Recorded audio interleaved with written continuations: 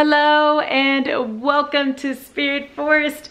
We are gonna be building my Viking tent. I am so excited to publish this video. This video is being posted after the fact. So I have already built this tent and have put it on my land and have stayed in it in the winter time. So I invite you to go watch those videos.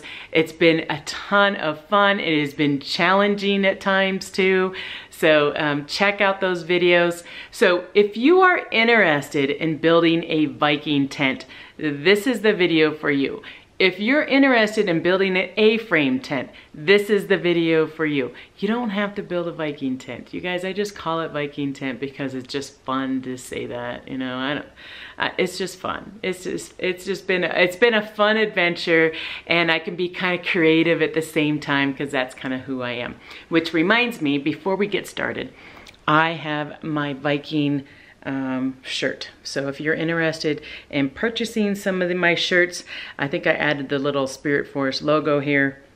This is all the, the design aspects um, of the tent and I'm trying to raise $500 for Wilderness on Wheels. I do have other designs too, so it doesn't have to be Viking. It can be a. Uh, I have a paw print one, I have trees. So whatever it is that you like, there's a lot of different choices on there, so go check it out on spiritforestbear.com. Okay, enough of that. So what are we gonna do on these building my Viking tent videos? Again, I think it's gonna be fun. I think you're gonna like it. Um, I have a material list for you. If you have any questions regarding building uh, what I did to build my Viking tent, let me know in the comments below. I read every comment and if you have a question mark, I try to always respond. So I'm gonna do a material list. I am going to show you me using some power tools and some hand tools in my garage. And then I have another video after that. Part two is going to be designing the, the Viking tent, like the actual design and the paint the job that I did.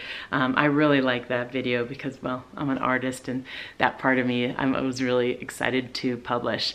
And then I have part three, which is going to be my mom sewing the tent together. I have purchased canvas and my, um, my mom came into town. She brought a bunch of sewing machines and, and we started to sew it together. I do have some tips if you want to watch that video if you're planning on sewing your own canvas um, as well. Um, I'll try to also link in the description if there's any material that I have purchased um, where you can get it if you want to use the same material. And then I have uh, my last video, which is part four, uh, which is gonna be the putting up the tent on my deck so you can actually see it all put together. And I created a fun graphic because I'm a graphic artist too, but I only have so much time, you know. I have like my lunch hour and a little bit after the kids go to bed, you know, to put it together. But I created a graphic to kind of explain a little bit more of how um, I'm putting the tent together. The tent is a 10 by 10. So it is really large. So to be able to video every part of everything was really tough. So what I did is I created this really fun graphic and you can see all the different parts of um, how I put it together and how it all works all in one screen. And that is the reason for the graphic. So I hope you enjoy. I'm gonna go back to my computer because I'm gonna do a voiceover and I'm gonna explain about the materials and such. So see you in just a little bit. I am now back at my computer and this is the cool graphic I made for you so that I could explain how it is that I built my Viking tent. I hope you enjoy it. Let's go over our material list. You need two 2 by 8 10 footers. This is the rafters for the doors. Uh, I printed a design, that's why I wanted them to be 8 inches. Then you're going to need seven 2 by 4 10 footers. That is for the ground, the door in the back as well. Six 1 by 8 dowels um, that are about 12 inches long. What I did is I ended up cutting them. I, I bought a large one and then I cut it. Then you'll need one and one eighth inch drill bit for your drill, which obviously means you need a drill as well. And then you'll need some wood glue that is going to glue the dowels into the the floorboards, which I'm going to explain that later. You'll need some paint if you want to design, um, and then to put it together, I used a mallet and paracord. Paracord just helps keep it all together. You're going to need a jigsaw power tool if you want to do dragon heads like I did, and then a, a hand saw. That's what I did to put together or to cut out the dowels. This is what we're going to be building today, which is the frame for my Viking tent. Now you can make it a Viking tent if you want, or you could just make an A-frame tent. Totally up to you, whichever you want to do. That I'm just making it more fun for me. But I think when I go to explain how to do it, we're going to have to do it in parts because I think it will make a lot more sense. What you see here is two 2x4s. That is for the side of the tent. And then what I'm going to do is I'm going to cut some holes in the ends of them and then I'm going to stick some dowels through it. Then I cut holes in what the door area would be. So this is the front and the back of the tent right here. I cut holes in them and I'm going to stick the dowels through that. So now I have my base. I'm sorry if it doesn't, uh, my graphic isn't perfect, but you get the idea. You'll stick the dowels through the holes and you create kind of this box square. Let's work on the back part of the tent. This is the back door.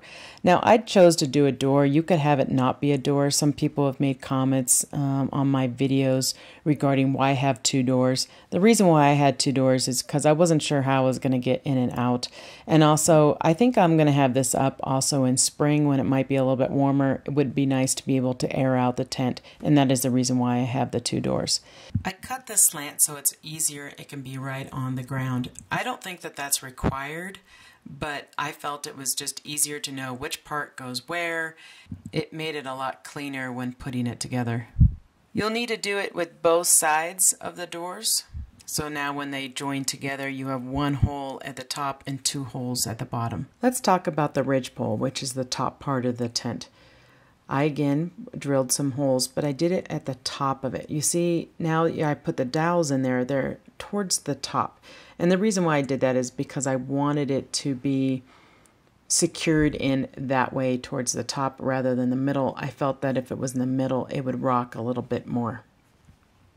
Oh, the rafters are my favorite part. my dragon heads. And again, you don't have to do a dragon head if you don't want to. You know, totally up to you. But this what makes it a Viking tent to me is cutting out that dragon head, which you will see me do in um, video number two. Um, I did have to cut again a hole at the bottom and a hole at the top, and then I had to cut the bottom of this board so that when it was on the ground it was flush so I cut it at an angle. And I did the exact same thing but on the other side. Now I've seen Viking tents where the dragons look away from each other and some Viking tents where the dragons look towards each other. Most of them I've seen they look away from each other I don't know if there's really that much of a difference my preference was for them to look towards each other it really doesn't matter, but that's that's what I did. So basically I mirrored what I did on the other side. And then again, when they put them together, the holes match up and the ground, uh, the, the bottom part of it is flush with the ground. This is what it looks like when it's all together. And of course, me being me, I have to put a design on it. I chose like a Celtic and Vikingish type design, and I go over it in a lot more detail on the next video, so be sure to watch that video. But you could design it any way that you want, and that's what makes it fun. So this is very personal to me. When putting up the Viking tent, I noticed it was really wobbly. So what I did is I created a X pattern in with paracord. I'm guessing you could use anything you want. But as soon as I did that and I tightened it up, it wasn't as wobbly at all. So I really recommend to use paracord. And you'll see here that it's in an X pattern. So here we go, the final version of what it is that I'm building. So stay tuned and I'm going to show you some clips of me putting this together.